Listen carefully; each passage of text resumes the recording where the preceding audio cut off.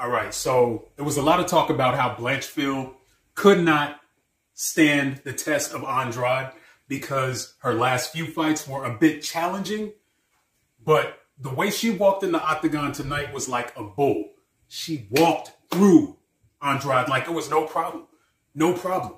Andrade just couldn't handle her her striking. Andrade got choked out by Blanchfield.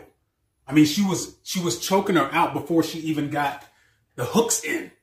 She didn't even need the hooks. She got that arm around her neck and that was it. It was a wrap. Hanging on her neck like a cape. You need to put some respect on that girl's name. Sometimes the under just just has a lot to prove and they show and prove. She's ready for a title fight. I don't know. What say you? Leave a comment. Let me know if you caught the fight. Let me know what you thought about it. Blanchfield really did her thing tonight.